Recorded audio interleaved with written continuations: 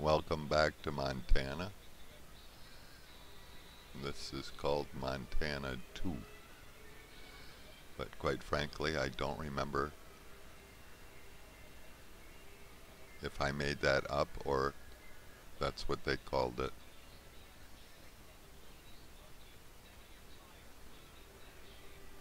It's of course coming from DuPage.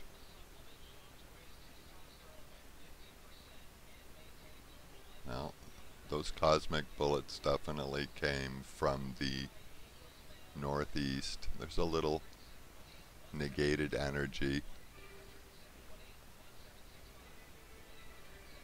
And this reminds me of some of those chemtrail clouds, th those stratified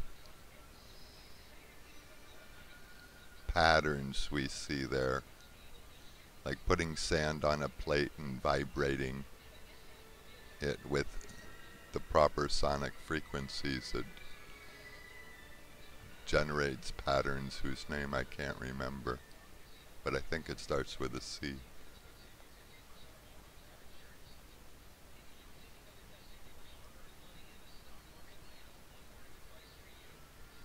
As I explored the idea in the last series,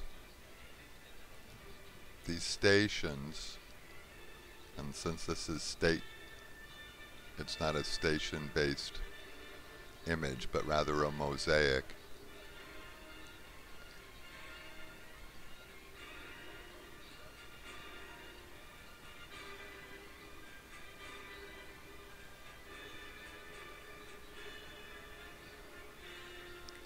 These stations can show things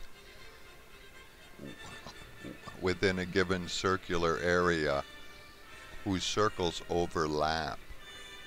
And this type of cl ground clutter perhaps is the most acceptable name for it since we don't really know what it is.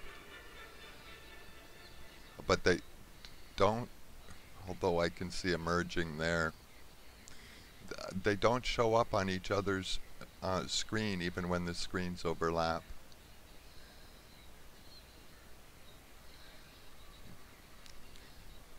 I am going to enjoy looking at the direction of those cosmic bullets and see if it has to do with the time of the day or the night.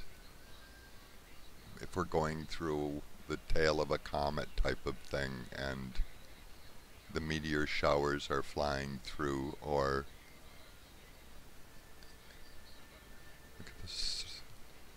the radial torsion effect up there.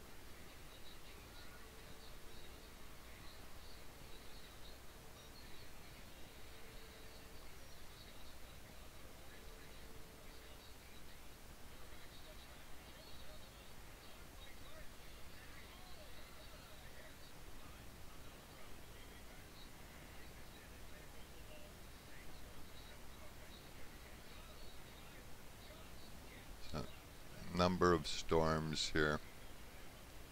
I'm sorry, not storms, circles in a mosaic form that you can't really see unless there is a storm.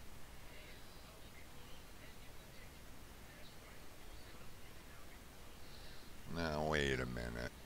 I think I just saw something interesting there.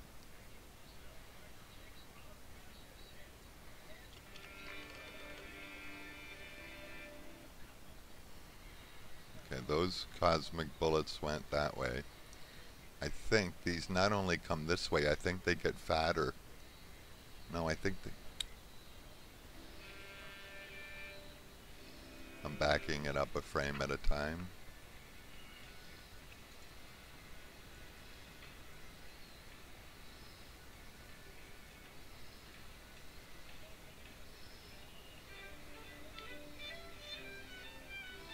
Well, one interesting thing is they're there for two frames. There's one frame and it's still there. It's coming straight out of that station and so is that one. It isn't what I thought it was.